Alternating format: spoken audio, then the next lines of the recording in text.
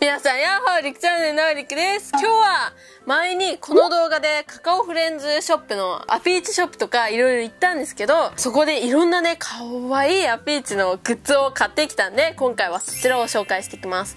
で、その動画のコメント欄で、アピーチショップ、アピーチカフェどこにあるのって聞かれたんですけど、えっと、場所はね、原宿の竹下通りてってほんと5分くらいで着いちゃう表参道っていうところです。概要欄に住所を貼っておくので、ぜひそちらから見てみてください。えっと、地図のところでアピーチカフェって入れても私は出てきました。はい、じゃあ早速今回こちらの可愛いアピーチグッズを紹介していきましょう。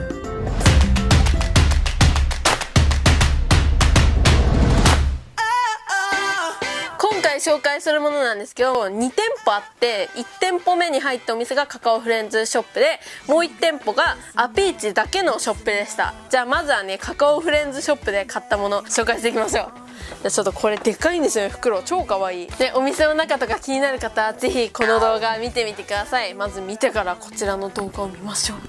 じゃあ1個目がじゃん。これねあのどっちもあのセール品です。もうセール品に目がいっちゃって。1個目は鏡です。セール品でいくらだっけ？700円から300円になってたんだっけ？めっちゃ安い。300円くらい。500円はいってない。300円くらいだった。あー綺麗。指紋をつけたくない。こんな感じのアピーチの鏡なんか秋って感じじゃない？だからセール品なのかな？じゃん。わあかわいいねほんとこれ。はい鏡です。結構いい感じの大きさだし可愛いし。でもう一個もセール品で1700円くらいになってたの。3400円くらいから。安い。じゃーん。人形？飾り物？めっちゃ可愛いのこれも。じゃーん。切り株。こんな感じでアピーチとここにはライアンがいてでこっちの名前がわからないんだよね。教えてくださいわかる方。ね可愛くない？取れるの？1個ずつ。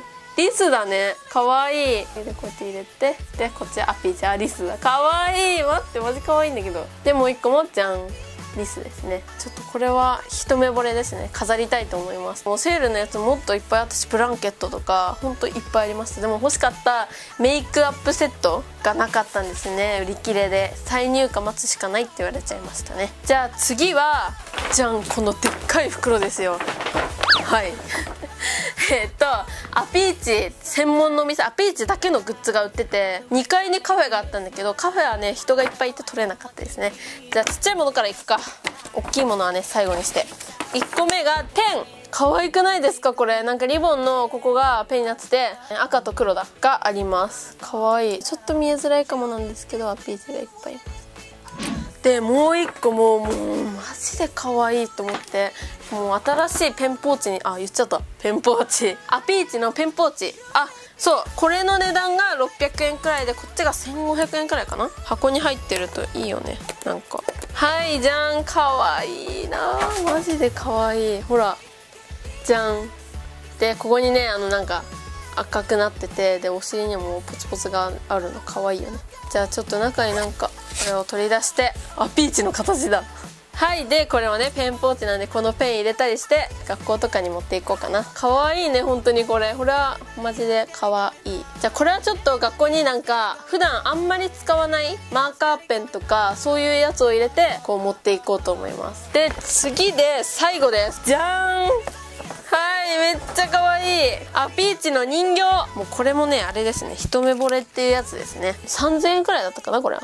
はいじゃん。お尻に赤いポツポツがピンクか。